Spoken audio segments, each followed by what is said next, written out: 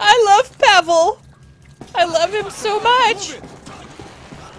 Can I have your children, Pavel?